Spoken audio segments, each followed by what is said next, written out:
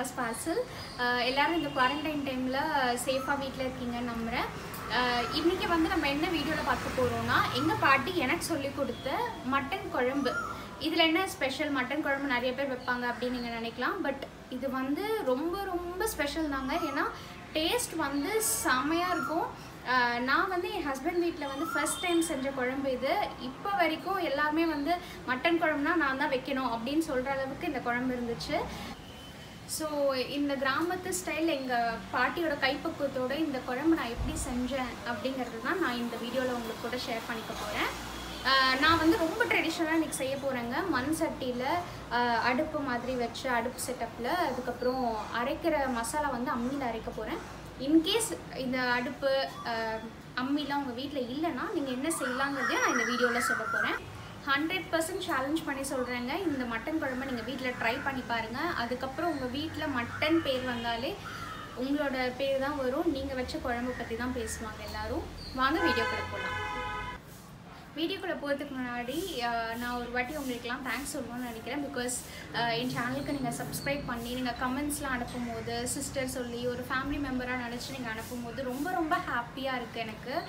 அந்த கமெண்ட்ஸ்லாம் படிக்கும்போது ரொம்ப ஏதோ நெருக்கமானவங்க என்கிட்ட கேட்குற மாதிரி எனக்கு ஃபீல் ஆகுது. நீங்கள் கண்டிப்பாக கொடு கேட்டிருக்க விஷயங்களில் நான் வரக்கூடிய வீடியோஸில் போடுறதுக்கு கண்டிப்பாக ட்ரை பண்ணுறேன் அதே மாதிரி இன்னும் என் சேனலுக்கு நீங்கள் சப்ஸ்கிரைப் பண்ணலைன்னா இல்லை இதுதான் ஃபர்ஸ்ட் டைம் என் வீடியோவை நீங்கள் பார்க்குறீங்கன்னா மறக்காமல் என் சேனலுக்கு சப்ஸ்கிரைப் பண்ணிவிடுங்க பக்கத்தில் இருக்க பெல் பட்டனை அப்படியே கிளிக் பண்ணிவிடுங்க அப்போ தான் நான் போடுற வீடியோவுக்கு உங்களுக்கு நோட்டிஃபிகேஷன்ஸ் வரும்.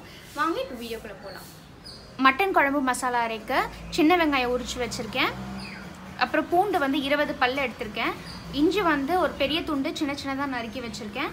கருவேப்பிலை பத்து வடை மிளகா எடுத்திருக்கேன் காஞ்ச மிளகா ஒரு ஸ்பூன் சீரகம் ரெண்டு ஸ்பூன் மிளகு தனியா வந்து ஒரு அஞ்சு டேபிள் ஸ்பூன் எடுத்திருக்கேன்.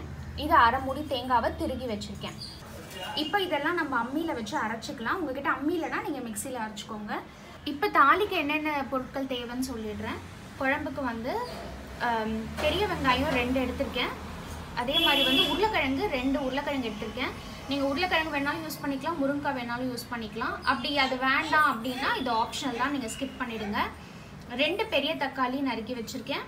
அப்புறம் சின்ன வெங்காயம் எடுத்திருக்கேன். அப்போ தான் டேஸ்ட்டும் ஸ்மெல்லும் நல்லாயிருக்கும். கருவேப்பிலையும் கொத்தமல்லியும் கட் பண்ணி வச்சுருக்கேன். நாங்கள் மசாலாவை வந்து அம்மியில் அரைக்க போகிறனால சின்ன வெங்காயத்தை சின்ன சின்ன பீசஸாக கட் பண்ணிக்கிறோம். நீங்கள் மிக்சியில் அரைச்சிங்கன்னா அப்படியே கூட போட்டுக்கோங்க. இப்போ ஒரு சட்டி வச்சுக்கோங்க. அடுப்பில் வந்து தனியா மிளகு சீரகம் அப்புறம் நம்ம வச்சிருக்க காஞ்சி மிளகா. இதை மட்டும் போட்டு எண்ணெய் ஊற்றாமல் வறுத்துக்கோங்க. ஒரு ஒன்லேருந்து டூ மினிட்ஸ் வறுத்தா போதும்.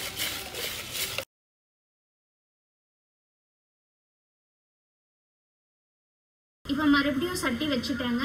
இப்போ அதில் வந்து ஒரு ஒரு ஸ்பூன் அளவுக்கு நல்லெண்ணெய் ஊற்றிருக்கேன் இப்போ அதில் நம்ம எடுத்து வச்சிருக்க தேங்காய் தேங்காய் துருவல் இருக்கு அதை சேர்த்துக்கிறேன்.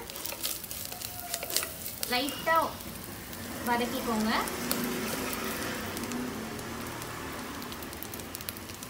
இப்போ அடுத்து வந்து சின்ன வெங்காயம் சேர்த்துருக்கேன்.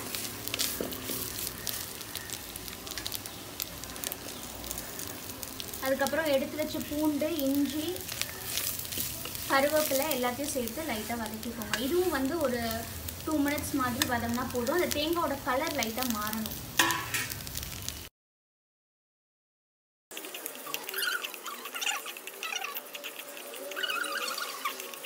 அவ்வளோதாங்க இப்போ பாருங்கள் நல்லா தேங்காய் வறுபட்டுருச்சு. ஒரு கோல்டன் ப்ரௌன் கலரில் ஆயிடுச்சு. அந்த நல்லெண்ணெயும் சின்ன வெங்காயத்தோட ஸ்மெல் செம்மையாக இருக்குது இப்போ இந்த ஸ்டேஜில் நீங்கள் அடுப்பு ஆஃப் பண்ணிவிடுங்க நீங்கள் கேஸ் எடுத்து யூஸ் பண்ணால் நான் இப்போ சட்டி இறக்கிட போகிறேன் இப்போ நான் சட்டி அடுப்பு வச்சுட்டேங்க. மறுபடியும் ரெண்டு ஸ்பூன் அளவுக்கு எண்ணெய் ஊற்றிருக்கேன் நல்லெண்ணெய் தான் யூஸ் பண்ணுறேன் உங்ககிட்ட இல்லைன்னா நீங்கள் நார்மலாக குக்கிங் ஆயிலே யூஸ் பண்ணிக்கோங்க. அதில் வந்து பட்டை பிரியாணி இலை அப்புறம் சோம்பு ஒரு கால் ஸ்பூன் அளவுக்கு போட்டிருக்கேன். கிராம்பு ஒரு ரெண்டு போட்டிருக்கேன். ஒரு சின்ன பட்டை துண்டு ரெண்டு பிரியாணி இலை. இது கூட வந்து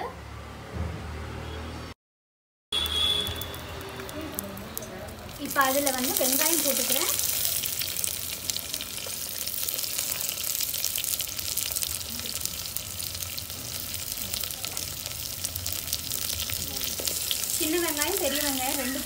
போட்டுக்கலாம் இப்போ பாருங்கள் வெங்காயம் நல்லா டிரான்ஸ்பரண்ட்டாக ஆகிடுச்சு கண்ணாடி மாதிரி ஆகிடுச்சு அடுத்து தக்காளியை சேர்த்துக்கிறேன்.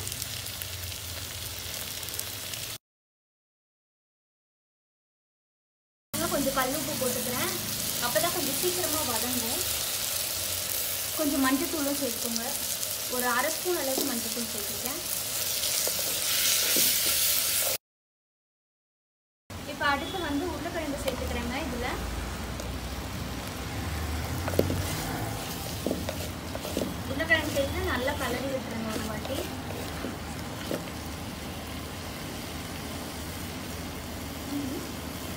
அடுத்து அடுத்து கருவேப்பிலையும் கொத்தமல்லியும் கட் பண்ணி வச்சுருக்கோம் இல்லையா? அதையும் இதில் சேர்த்துக்கலாம்.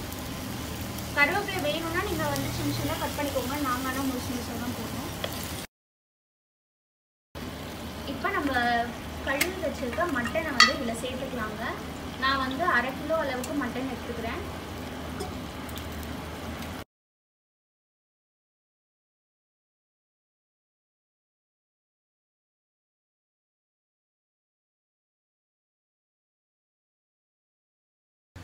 இப்போ கறி வேகத்துக்கு தேவையான அளவுக்கு தண்ணி ஊற்றி ஒரு கலர் கலரி வச்சுருக்கேங்க.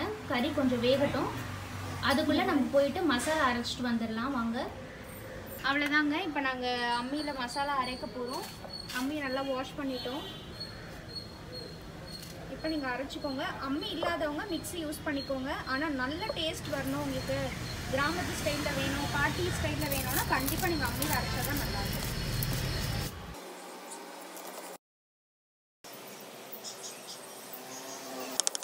அவ்வளோதான் ஃப்ரெண்ட்ஸ் நான் அரைக்கிறேன்னு சொன்னேன் இல்லையா? அம்மியில் அரைச்சிட்டு வந்துட்டேன்.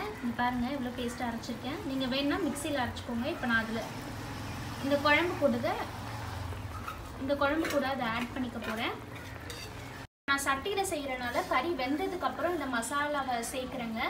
இன்கேஸ் நீங்கள் வந்து குக்கரில் பண்ணிங்கன்னா இந்த கறி வேகிறதுக்கு குக்கரில் போடுவீங்கள்ல அப்போவே இந்த மசாலாவை அது கூட போட்டுட்டு ஒரு அஞ்சு விசில் போல் விட்டு இறக்கிடுங்க. கரெக்டாக இருக்கும். நான் இப்போ அரைச்சி வச்ச முழுக்கு முழுசையுமே போட்டு கலரிக்கிறேன். பாருங்கள் எவ்வளோ கலர்ஃபுல்லாக திக்காக வந்திருக்குன்னு. செம்ம ஸ்மெல்லுங்க சீரியஸாகவே அம்மியில் பேஸ்ட் அரைச்சி நம்ம போட்டாலே ஸ்மெல்லும் டேஸ்ட்டும் செம்மையாக இருக்குங்க. இல்லாத பட்சத்தில் நீங்கள் மிக்ஸி யூஸ் பண்ணுங்கள் பட் அம்மி இருந்ததுன்னா கண்டிப்பாக ஒரு வாட்டி இதை ட்ரை பண்ணி பாருங்கள் ஸோ ஃப்ரெண்ட்ஸ் குழம்பு ரெடி ஆகிறதுக்குள்ளே நம்ம சிக்கு பாப்பாக்கு இட்லி ரெடி ஆயிடுச்சு. வாங்க இப்போ குழம்பு ரெடி ஆயிடுச்சான்னு பார்த்து நம்ம சிக்கு பாப்பாக்கு சாப்பாடு கொடுத்துடலாம்.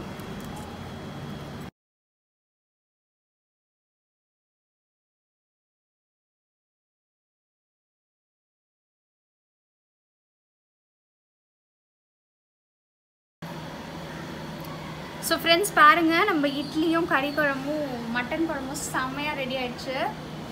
செம்ம ஸ்மெல்லு ஆக்சுவலாக எங்கள் அம்மா பார்த்தா திட்டுவாங்க.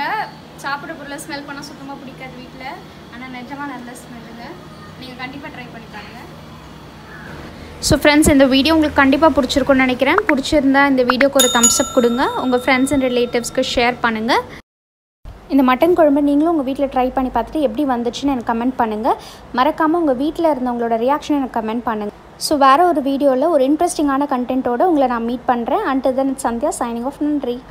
ரெடியா பாப்பா குருவை சிந்து குருவை இங்கே வாங்க இங்கே வாங்க. இங்கே வா இங்கே வா.